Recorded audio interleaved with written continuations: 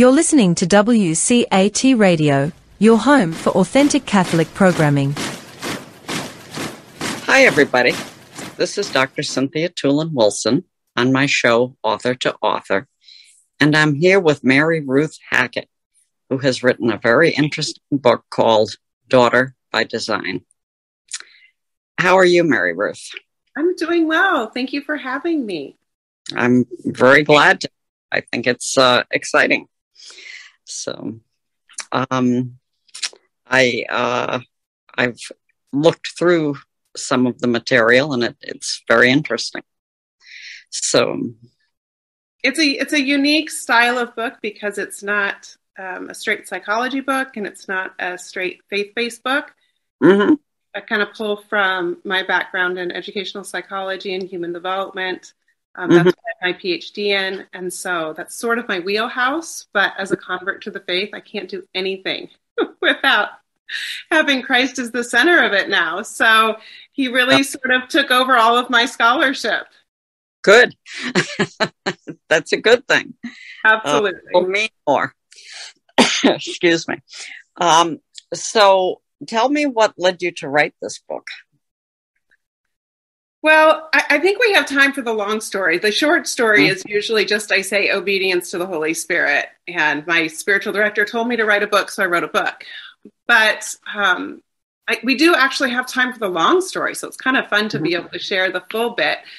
Good. Um, I, as I mentioned, my background is educational psychology and human development. So I I converted about 15 years ago to the faith, mm-hmm. and and did so after I had completed my PhD and had two little boys.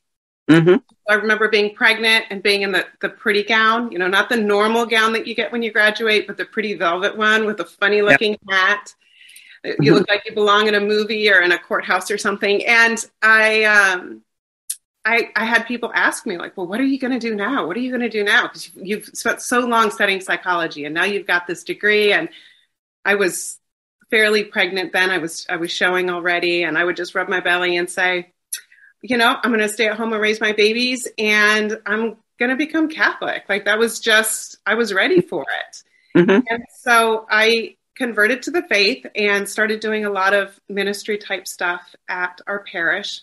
Um, mainly stuff with parenting because that's that's what I knew. So I started a moms group and then I started a women's studies group um, started a rosary group for moms, things like that. Um, and I also started blogging and doing some writing.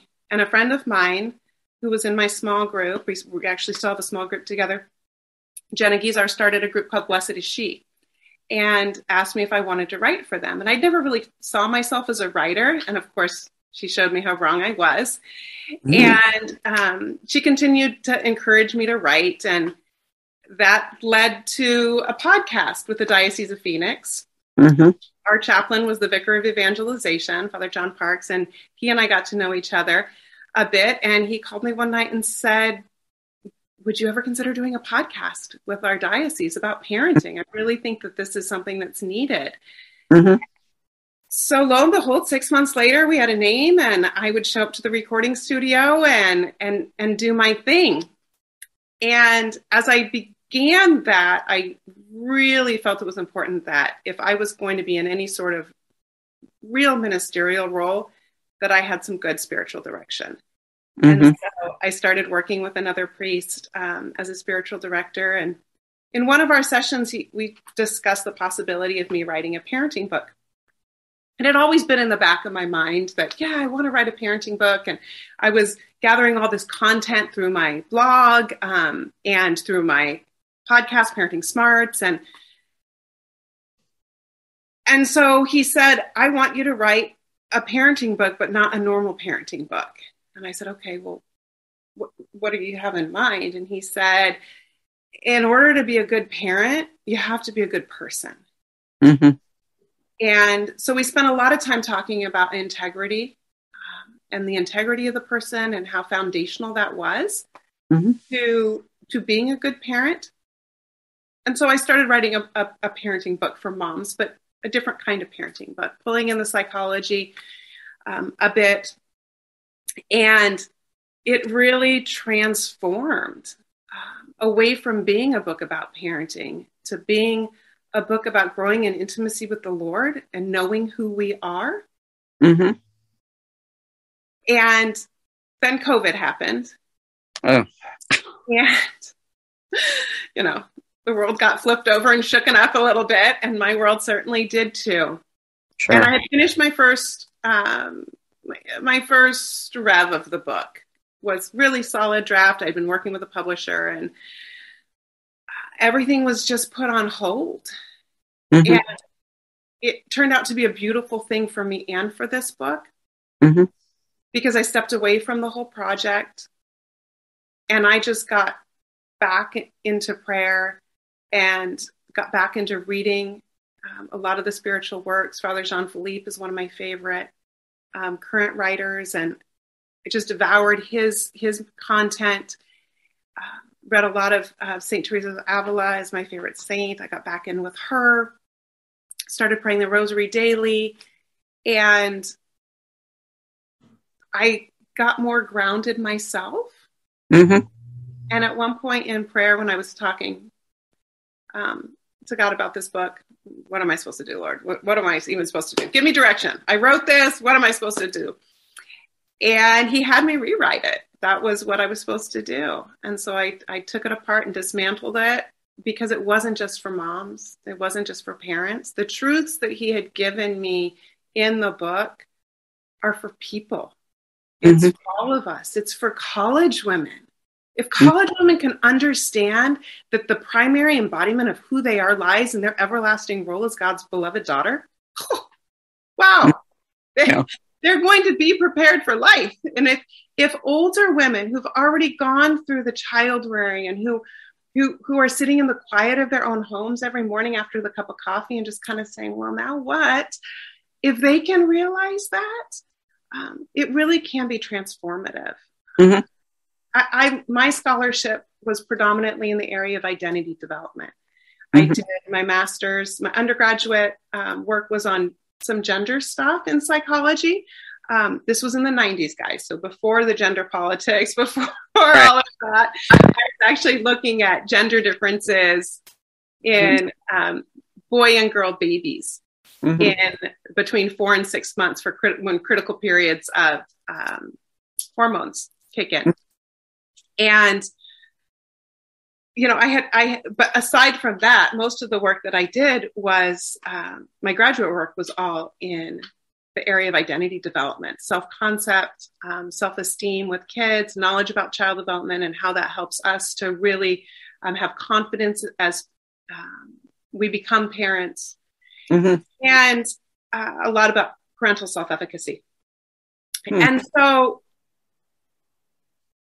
identity and who we are and how we live that out at different points in our life has always been a passion of mine. It's, it's really something that um, has resonated deeply with within me and as a mom of four kids I, I really want my kids to to have like such a clear understanding of their strengths of their weaknesses of of the the virtues that are present within them that they can cultivate and grow through their struggles and the role that struggle plays in in kind of honing who we are and um, there's so much there.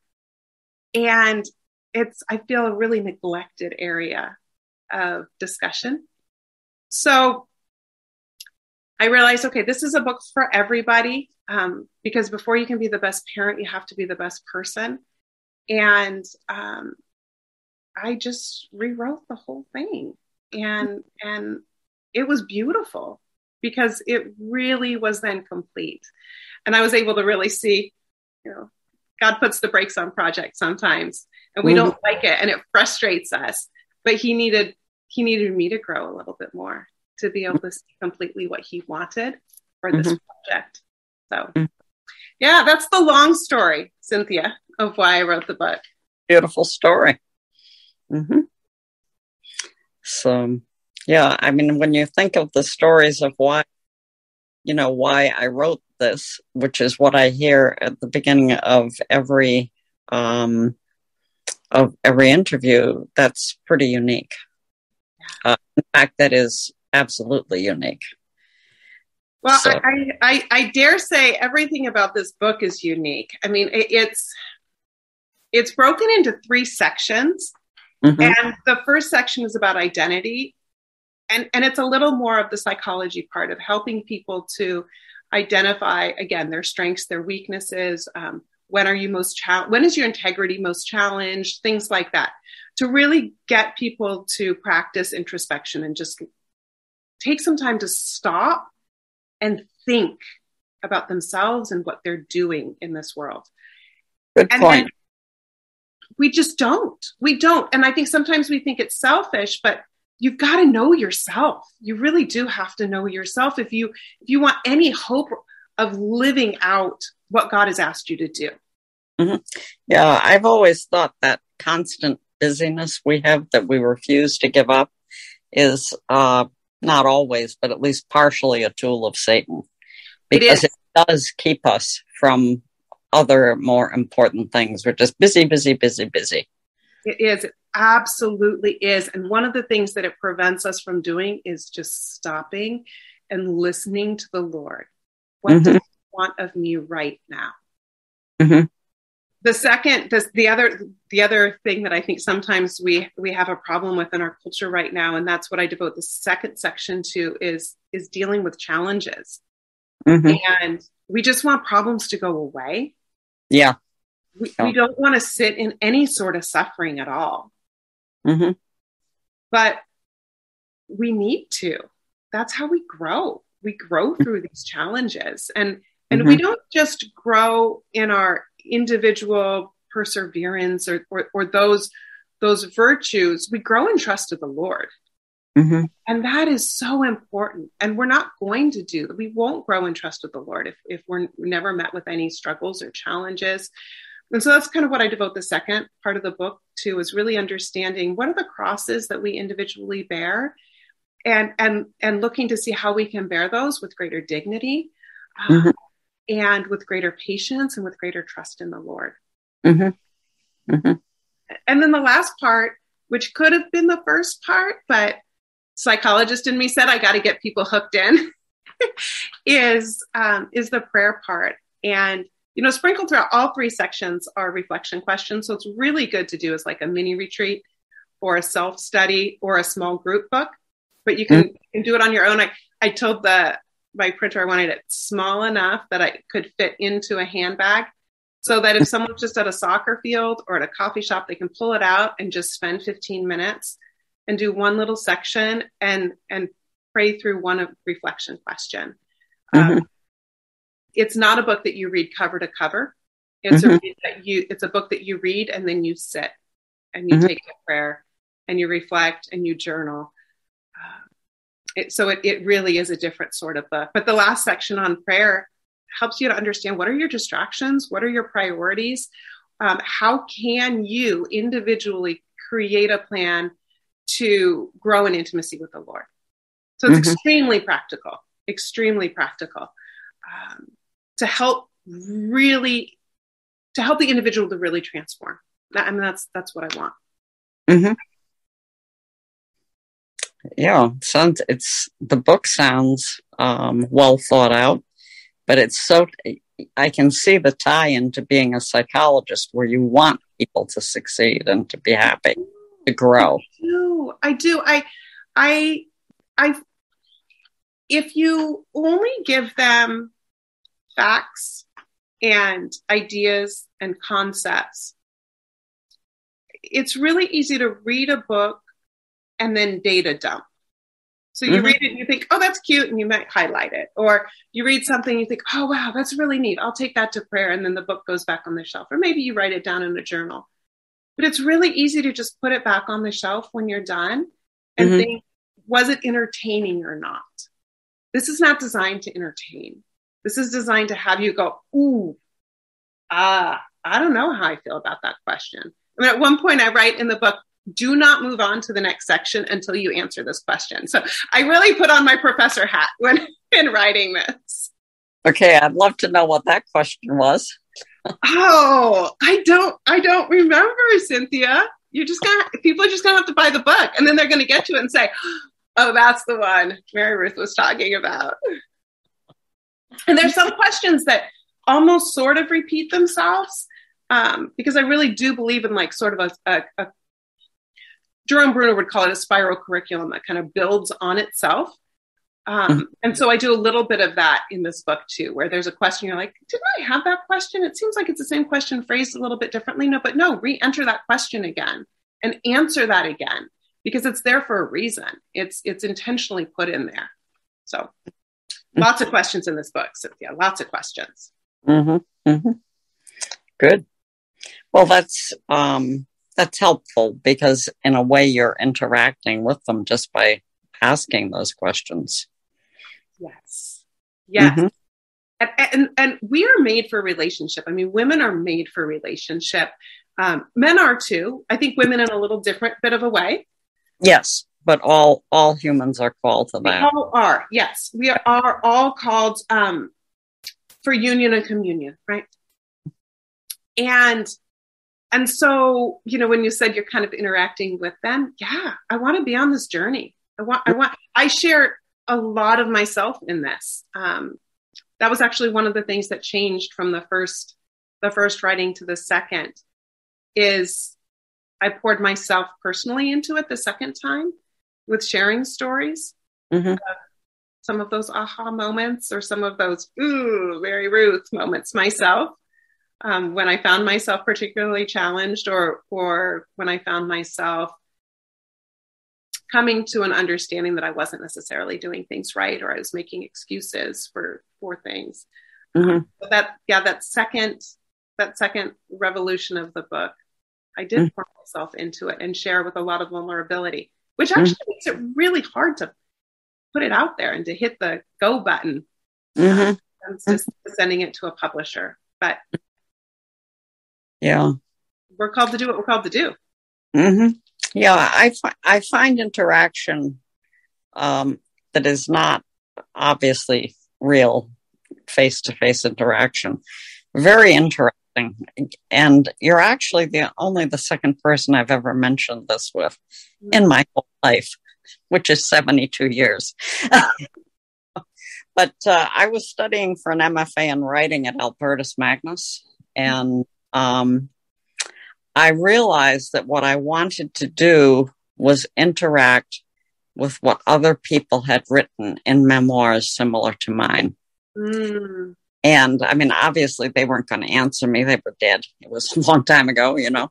But um, just the idea that other people who could read what I wrote would be able to see something about an interaction in the past and possibly with those people who were going through the same sort of issues that I had gone through. Mm. And you're actually the only other person I think ever could understand that because people usually gave me a really weird look. Like, how do you interact? but uh, I think that's so important. Even if, you know, even if people don't get it right away, I think it does add something. It makes you think at a different level. It, you're absolutely right. It, it, I, it engages a different part of the brain. Yeah. It's not just yeah. a logical understanding of it, it's an emotional, mm-hmm. relational, mm-hmm. um, human understanding mm-hmm. of what's happening. And, and that's how you affect the heart. Mm-hmm. And, and I, I do want to affect the heart. Um, or I guess I want to be a conduit for the Holy Spirit to affect the heart of others. Mm-hmm. Because oh. it's needed. We need that. Yeah, we do. We do. So that's um, that's something that uh, you know could be brought into you know some kind of um, spiritual right you know that you could could help people learn that yeah yeah mm-hmm. that that that is true it's it's something that the ministry blessed is she that i still write for mm-hmm. um, really taught me to do to be vulnerable in the writing because as one of the devotion writers you know we, we read the scripture and then and then we share how it's how it resonates with us mm-hmm. that's extremely personal that's yes. extremely personal. Mm-hmm. We're not there to catechize or to talk about the theology or to um, to write to to write a homily about it. We're there to say, what does this make us think of? How is the Lord speaking to me in this? And that's a very um, very vulnerable thing to do, but it's needed. Mm-hmm. So I said yes to doing to Mhm. doing it. Um, yeah. Sometimes Yeah. you just have to say yes. Mm-hmm. Mm-hmm. Yeah, it's it is something similar to me. Um, you know, when I was starting to get ready to study for the MFA, um, I was driving down to work actually at Holy Apostles, and I, I kind of was thinking, would I like to write, you know, Catholic fiction? Mm, I was like, should I write fiction? Should I write nonfiction? And I just, it was weird, I know, but I just got this message. I mean, I just, it was like, I didn't hear anything, but it's like it went through my mind. Write nonfiction. mm, Um, you know, so I did end up doing that. And, um, my goal was to interact with people that I'll never meet. Um, you know, through the book and uh, through the books actually, and hopefully to have some impact on them, to make them think. hmm Well, the books the books last far beyond they us.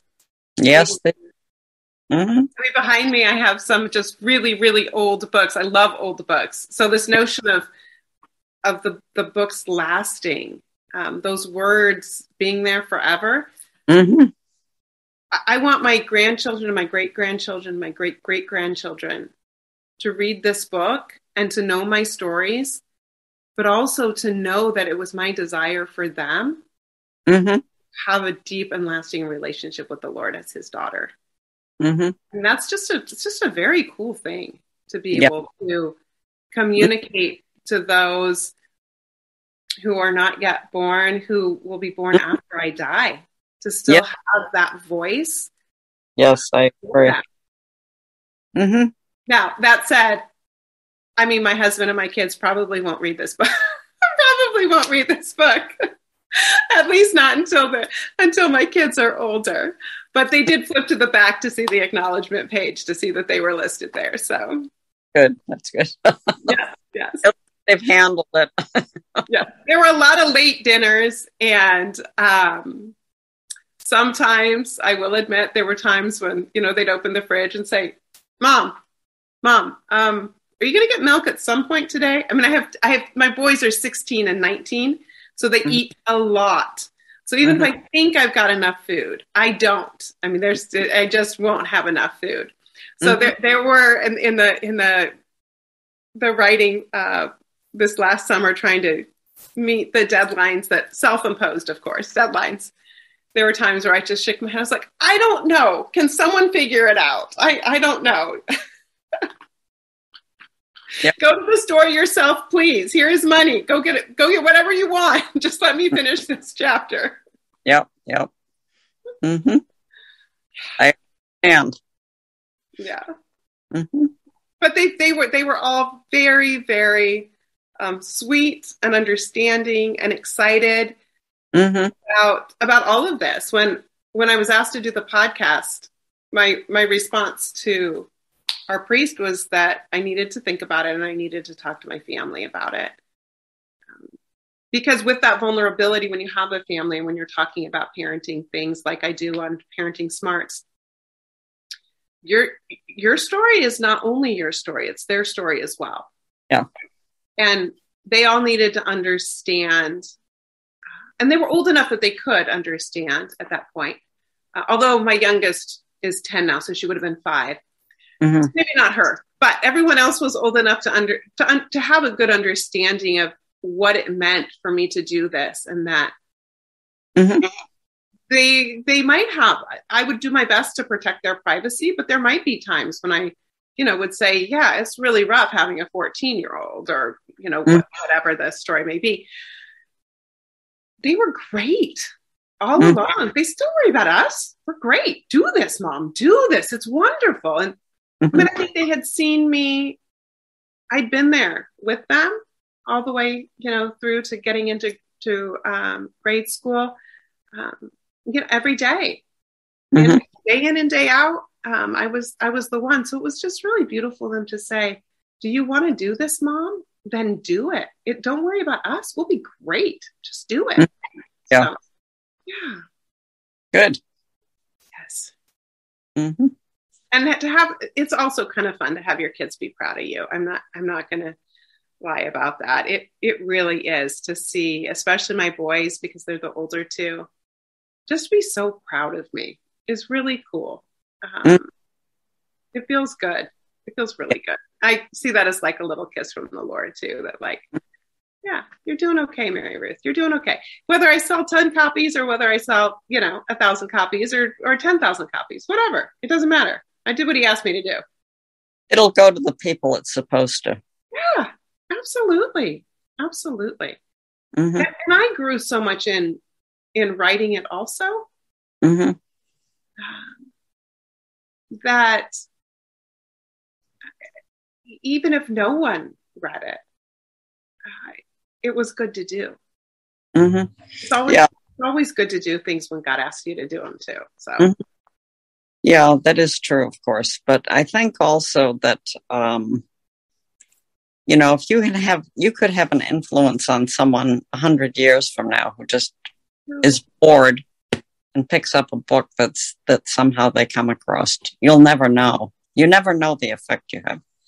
But that's such a beautiful thought as someone just p- picking up this old dusty book and brushing it off and opening it up and maybe seeing seeing areas that their mom had journaled in a little bit but then hadn't continued and her picking it up. I have in my mind this whole this whole movie story.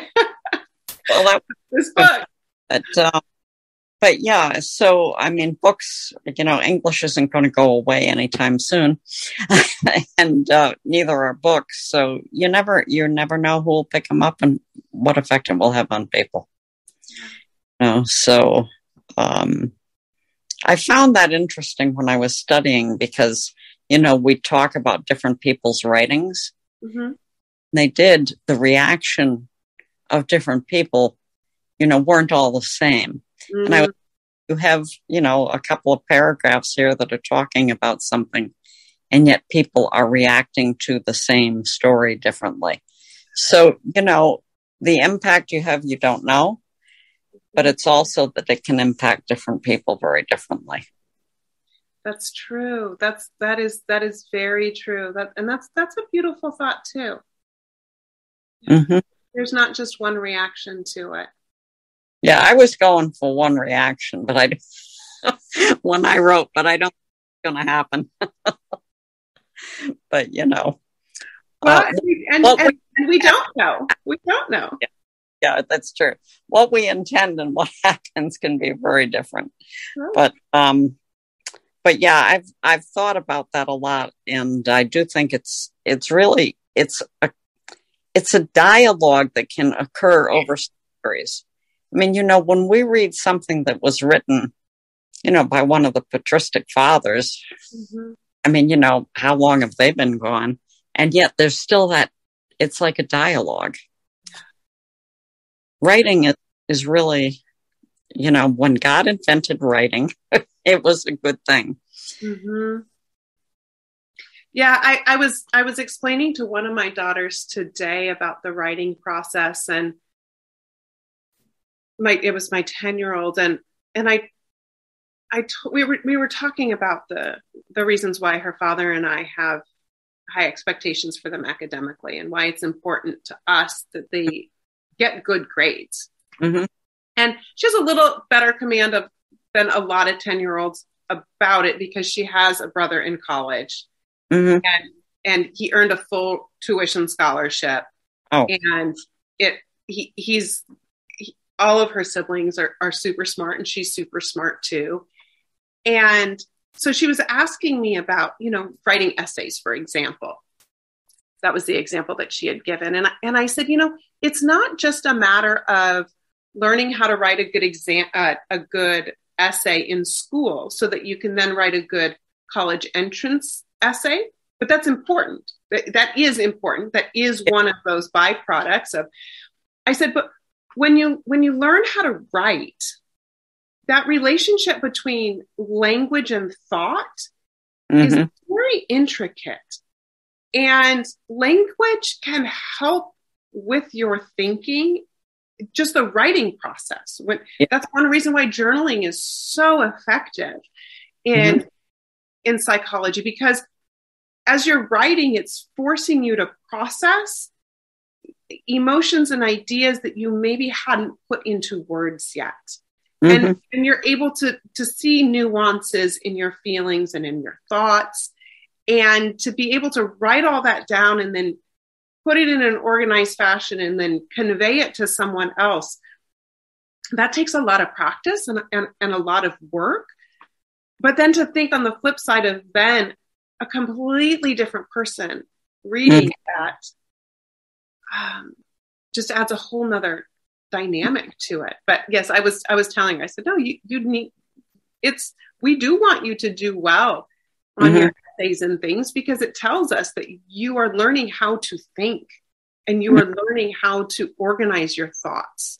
Um, mm-hmm. That for me is what is is so beneficial about about writing and why I want my kids to be good writers because if you're a good writer, chances are you're a pretty decent thinker also. Mm-hmm. Yeah, I agree. Which doesn't necessarily mean you'll be a good speaker. I know that's that's that's something that I that I uh, I'm I'm learning to embrace the speaking aspect of you know now being an author, um, and I'm enjoying it. I love it because I feel like I'm back in the classroom mm-hmm. when, I give, when I give talks. But I, I I, think there are individuals who are excellent speakers who aren't necessarily good writers or who don't aspire to be good writers. They just I, have I've got a good friend who does this. You know, she takes it to prayer and she jots down notes, and then she is just on fire when she's in, in front of people speaking and preaching and spreading spreading the gospel um, mm-hmm. in such a beautiful and powerful way um, but she wouldn't necessarily consider herself a, a, writer first. She's more of a speaker. Mm-hmm. So I've got I've got the flip side, but definitely well, a writer first. Yeah, we all have our own gifts. We do. It's so beautiful. Yeah, mm-hmm. I, I write in the in the book about jealousy of being jealous of others' gifts, and and I write that you know if God had wanted you to have a gift um, and if you had needed that gift to live your purpose, he would have given it to you. Mm-hmm. So move on. Appreciate the gift in someone else. Give thanks to God that he has given that person that gift. Mm-hmm. And then move on. If you don't have it, you don't have it. That's okay. That's okay. Mm-hmm. I agree. There are many gifts I do not have that I wish I did. What's one? What's one gift that you wish you had, Cynthia? Um, I wish that I had been able to. Um, I, I am also a convert, and I wish I had converted earlier because I think I would have had uh, more impact on my theology students. Oh, you know, yeah. yeah. Um, I th- I think I was a decent teacher. I'm not saying I wasn't, but um, I think that living the faith a long time under different circumstances mm-hmm. uh, builds, uh, I don't know if I'd say it builds character, but it builds something within you that you can then give to people that you're not necessarily able to when you just start, you know. Mm. but that is, that is um, but that's there's nothing I can do about that. no, you can't. So that's where I would say move on. But I asked you. I it it, it, it I asked you what what that yeah. was. I think I wish I wish I could be. And this is actually something that I'm trying to develop. I wish I could be better about confrontation. I tend to get really uncomfortable with confrontation. Um, and so I'm just now sort of learning to trust a little bit more as i as my prayer life has really developed in the last few years i'm learning to trust in the lord a lot more and mm-hmm. turn to him and if i know he really wants me to say something then to just have that trust that if it's spoken in love um, then hopefully it will be received in love. And if not, I can't do anything about that. I'm just being obedient to him asking me to do something. Mm-hmm. So Mm-hmm. that is that is something that my husband's very direct, and um, I'm less so. Just put it that way. I'm not as passive aggressive as I used to be, but I'm I'm definitely less direct than I used to be. Yeah, actually, my husband is much more direct than me. That could be a gender difference. Yeah, it could be. It definitely could be. Yeah, Mhm. but we need both. We need both. So We do. um, it's it's, Or- it's good to have both. Yeah. or maybe maybe not- the way we show it is different. Yes, yes. I was just going to say, or maybe not. I mean, no one wants passive aggressive parents. No one wants, wants to live with passive aggressive people. So I'm not saying we need passive aggressiveness. Definitely not. But um, That would be something. showing it differently. Yeah. Yeah. Yeah. So yeah, it's um it's interesting how we all have to deal with these issues in one way or another. And I think a lot of times we don't even rationally think about them. We just react, you know. Yes, intentionality, intentionality, and thought. You know, you mentioned the distractedness that we live with as a culture, and Oh yeah. it the distractedness and, and the, the multitasking that we do both of those really prevent us from i think living the most fruitful lives hmm and They're actually harmful. They are Yeah. Um, you know, we are not meant to be, you know, rats on a on a wheel. And I often that image often goes through my mind as I'm doing this, this, this, this, this, and this. You know, have the TV on. you know, it's like oh, too much. yes yeah the overstimulation one of the one of the practices that i've changed um, really since writing the book was having silence in the car when i can hmm I, dri- I you know with four kids i drive around a lot we go to soccer practices back and forth and back and forth hmm And after the kids are dropped off someplace, or if I'm on my way to pick them up and it's just me in the car, which it frequently is, I it's just silence. Yeah. Silence. And I'll keep um, I don't know if this is okay or not, but I keep a little notebook in the car too. So that in the silence, you know, I talk to the Lord and then we get to a red light, I'll, I'll jot down I'll jot down little things that like, oh, I got to take this to prayer. Just, just j- jot it down while I can't again multitasking while driving. I mean, it's I'm at a stoplight at least. I have actually pulled over into side streets before to be like, oh, I got to get this down. This is good. But it's in mm-hmm. the silence that we hear him. Yeah. Yeah and so he's he's he's he's a God of, of peace. He's not a God of chaos, right? Mm-hmm. Our Lord is. So I'll just drive in quiet. Or Mhm. I'll cook in quiet. I used to love to to put on music and now I just cook in the quiet. Um, when I do mindless tasks that are drudgery, though, I'm thinking laundry, yard work. I listen to podcasts. Mhm. I don't do those in silence because it's just miserable. Yeah. Working out, I don't do that in silence because it's just miserable. But but but otherwise, you know, I try to cultivate as much silence as I can in the home uh, when Mhm. I'm around. Yeah, makes sense. I use I often have something going in the car when I'm driving because I'm one of those people that can easily fall asleep. Oh well, then you please listen to things when you're driving. I do, but I'm I'm fussy about what I listen to, you know, because uh, there's a lot of garbage out there. There is, and unfortunately, we're just sort of continuing to feed ourselves garbage, and then we're surprised when we feel like garbage. Uh, garbage, garbage out. Yeah, it is. It's sort of like watching a kid eat a bunch of Halloween candy on Halloween night, hmm and then they get sick, and they look at you like, "What happened?" Like, well, you just fed yourself a bunch of garbage, honey. That's that's why that's why you you lost it all. That's why you feel horrible. Or the college kid that binge drinks and then wakes up with a hangover and feels horrible and is doing poorly in class. And you're like, well, of course you feel horrible. Of course you're doing awful in class. Of course this is not going well for you. You're consuming garbage. Yeah. It's the same with us as adults. And I don't think we really realized the garbage that's around us because we've we've lowered our standards so much and there's there's such an overwhelming amount of things that instead of filtering through all the garbage to find the gems we just consume the garbage. And then if we find a gem we think oh wow this is really great. Yeah. Go back to the garbage. Yeah. Well there is a lot of garbage. There's no question of that. And uh, i think sometimes people are so used to listening to it um, they don't realize it's anymore. I think I I definitely think that's true.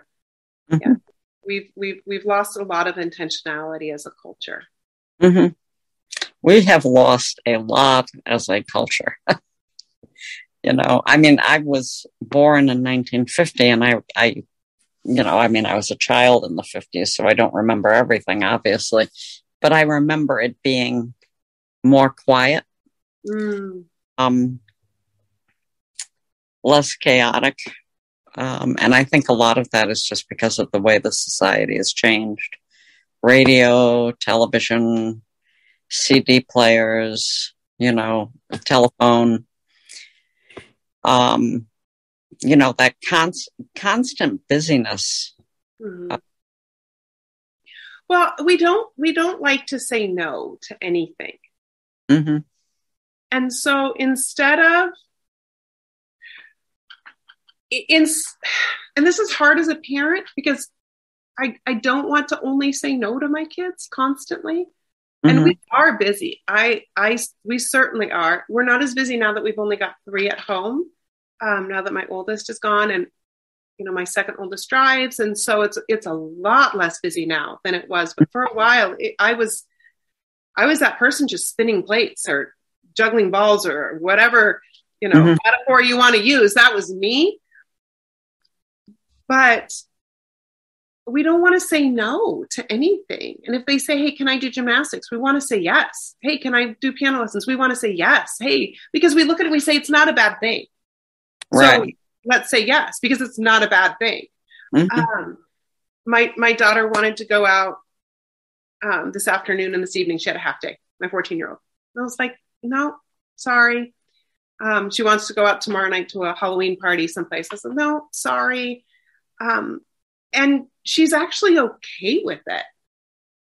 She's getting used to me saying no to things that aren't necessarily bad, but they're not the best. It's mm-hmm. it's not what she should be doing at that time. And her response this morning when I was telling her no again because it was the second time she asked um, she just wanted a little more explanation. She wanted the why, and I gave it to her, and and her rea- her reaction was, "Okay, yeah, that makes sense. You know, I think I probably should work on my essay anyhow." Mm-hmm. Yeah. Instead of keeping her busy, busy, busy, busy, busy, saying, "Yeah, you go out with friends. Yeah, you do this. Yeah, I'll break my back running you uptown, downtown, all around town." No, no, let's just have dinner as a family um, no, this we don't need to say yes to everything. Right. Sometimes people need permission to say no to things that are good things um, because it's maybe not the best use of their time. Mm-hmm. That's true. Yeah. But with all the options, you know, you say no to one thing and something else pops up. Mm-hmm. Yeah. Mm-hmm. But if you can have if you can be really purposeful in what you're doing day to day, even moment to moment, and living that intimacy with the Lord, then then you're asking Him, what should I do now? What should I say here? Should should I say yes? Should I say no? And those are the kind of conversations that have really helped me, not mm-hmm. just in my parenting, but like in life.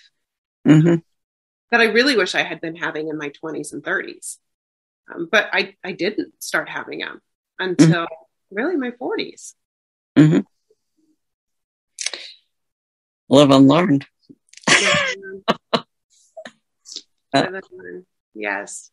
we all mature, hopefully. Um, well, we do mature whether we want to or not. Um, and I think there is, you know, there is something about becoming more wise as you get older. Um, hopefully. Um, and that I think is what you're seeing in yourself, although you're still very young. Mm-hmm. And certainly something I think I see in myself. You know, you, if you do a lot of stupid things when you're young, not bad things, but just stupid, you know, like not studying when you should or whatever.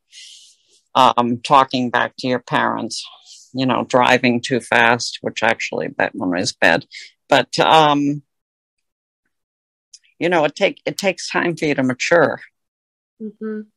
And, uh, hopefully most of us do and see a better, better way of living. Yeah, yeah, and I did do a lot of stupid things when I was younger. Oh, so did- yeah, I, I, I did. I have to sometimes remind myself that my children are not me. And just because I did dumb things when I was 19 doesn't mean that my 19 year old is also doing dumb things. Mm-hmm. Hopefully he's he's learned a little bit from from my um, journey. I won't say mm-hmm. errors necessarily, although they, there were a lot of errors there, but from mm-hmm. my journey to kind of be on a on a different path. Mm-hmm. Um, we'll see, though. We'll see. Yes. Mm-hmm. Well, that's all very interesting. You know, we uh, we've had quite an interesting conversation. I think. Well, thank you, Cynthia. I enjoyed it. I'm so glad I did too. Mm-hmm. I, did too. I think that's been one of the fun things about writing this book is meeting new people mm-hmm. and, and, having conversations like this. And um, they're not conversations that you usually have with a stranger. True. And and there's something just very cool about being able to do that. So right. I really appreciate you you having me as a guest. Oh, I enjoyed it very much. So you know it's it's good i like to i like to learn what's behind people writing. Mm-hmm. Because well, that makes sense given your interest in the in and in your own field with the memoirs and and whatnot. I, mm-hmm. that's yeah, it makes sense. Yeah, so it's it's really interesting to me. And of course, obviously, I think if you're interviewing somebody and they're boring you to death, you know, it's not going to go well. I've actually never had that happen. But uh, good because some of your previous interviewees might be thinking, "Oh, is she talking about me?" no, um, but I've I've actually um, I've had over 200 interviews on this show now. Wow! Yeah, I consider it my ministry. That's and, wonderful. Um, yeah, I mean, I would say the overwhelming majority of them, even if they didn't go really, really, really smooth, they were worth doing because there was something that would come out that I would say, oh, this is important. Yeah. No, so, so yeah, over 200. I think it's something like 210 now. Mm. What was yeah. your most memorable interview? Mm. There were a lot of really memorable ones. Um, I've talked to um, to people. It's it, there was one man, now I can't think of his name, but he had written about the Trinity. He had no training as a theologian, um, had not really, um, not really studied it. I mean, I'm sure he didn't read the Summa. Right. And he just got it through prayer and going to mass. Mm-hmm. And I mm-hmm. was there listening to, I teach Trinity. I was sitting there listening and it's like, oh man, I'd love to have you in class because, you know, um, because he knew so much. Yeah. And it was really impressive to me. And it was like, this is someone I could hold up as an example of, you know, you, there's different ways of getting this. It's not just information. No. It's a class where you study something mm. an A on a grade because you managed to memorize it. Mm-hmm. That's all it is. It's nothing. It's, it's just some information. But this man had uh, had worked on his own, studying and finally. Right. Yeah. Lots of prayer, I'm sure. Oh yeah, yeah, yeah. So that I think would probably be the the most memorable. Mm, that's beautiful story. It is. It is. Yeah. And um, you know, I have. Uh, there's another man um, that I interview. He writes. I don't know how he writes as much as he does. Um, and he has written about the relationship between science and religion, which I'm very interested. Oh yes. Yeah, and because you know when we're looking out there trying to figure out what's going on, you know, like with planets and things, like we're doing now with the you know the spaceships that we send up and everything, mm-hmm. or whether you're doing it with a microscope, looking at cells, what you're looking at is creation and seeing the order there. You are you are you're not making rules. You're finding the rules that God put into matter. Yeah. And it was you know, so this, um, you know, this man is also, you know, just, he's a doctor, a PhD. And, um, I just listened to him and it's like, wow, you know. That's beautiful. I, I wrote a piece about, uh, science and faith for spiritualdirection.com recently. Mm-hmm. A, a, about the interplay and the importance of not discount science, not discounting faith, and faith not discounting Mm-hmm. science. Um, mm-hmm. That that they do support each other. Yeah, yeah, yeah. Well, I mean, just look at what we know now about it's you know galaxy after galaxy after galaxy, and it's like God didn't just decide to make the earth and walk away. you know, he made all of this or made it in such a way that, you know, that it would progress in a certain way. Yeah. And I mean, that fascinates me. You know, they had on the news the other night, the, um, there's a galaxy that they call the Star Maker. Uh, and I'm at that and it was like, oh, God is really smart. you know, it, but it's true, you know, like we're looking at what he did to make this happen. Mm-hmm. So we don't understand the rules. I mean, you can't walk away from that and say oh, that's just science. That's that's against religion. It's not. No. Although it can be used that way, but beauty of wonder, just to be able to look with awe and wonder at the beauty of the what the Lord has created. Mm-hmm. Mm-hmm. Yeah. I had an experience once which was um bizarre. Um, you know, the uh, Magi saw the star, and and so it, I can't remember. I think it was two years ago, and um, I had heard that the scientists thought that there's um, a, the two planets, Jupiter, I think, and Saturn. Um, they don't get close, close, but there's something about the way they're closer, so that when we look, at up at it at a particular time that happens like every few hundred years. Mm-hmm. mm-hmm. It's they think that was actually the star that the Magi saw. I do remember that, and we yeah. all when that came when it came to the point where we could see it best in our part mm-hmm. of the part of the country, whatever. Uh, we all went out that night to well, look we, at it. Yeah, we were out driving and I said, tonight's the night. And I knew the time that it was supposed to start and everything. And it was a cloudy, rainy night. We got the front of the house. Mm-hmm. I got out of the car and I looked up and it was there. And that's I, so cool. I started to cry. Oh, that's so cool. Yeah, it was such a gift. Mm. So I'm standing now. We don't know that that's what the Magi, mm-hmm. but it could have been. And it was just that possibility that I was looking at the same thing that they had looked at over 2,000 years ago. Yeah. That, just, led them, that led them to the Christ child. Yeah. That's yeah. So cool.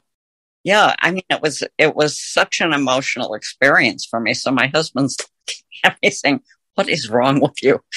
okay, again, that sounds like something my husband would say. what is wrong with you?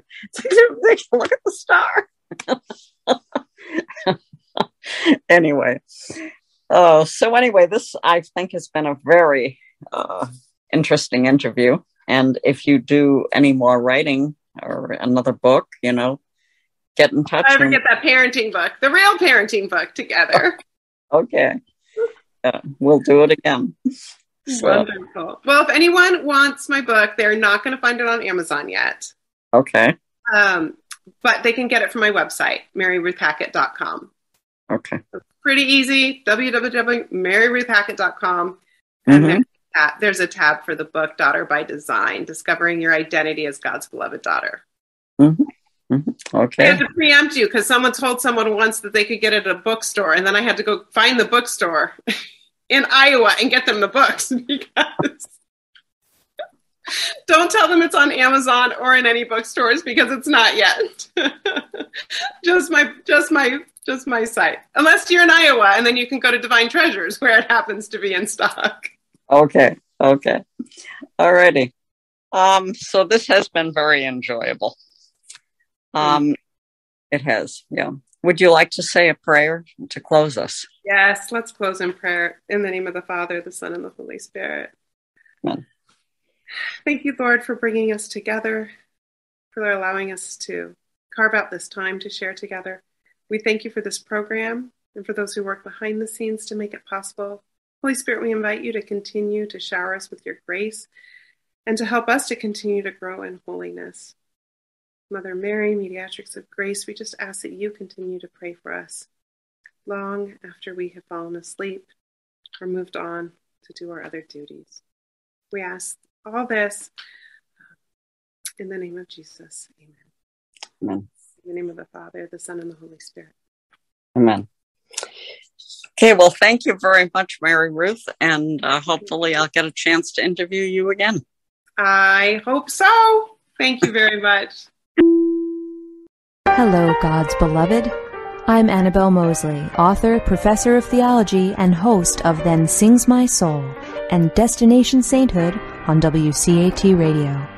I invite you to listen in and find inspiration along this sacred journey we're traveling together to make our lives a masterpiece and, with God's grace, become saints. Join me, Annabelle Moseley, for Then Sings My Soul and Destination Sainthood on WCAT Radio. God bless you. Remember, you're never alone. God is always with you.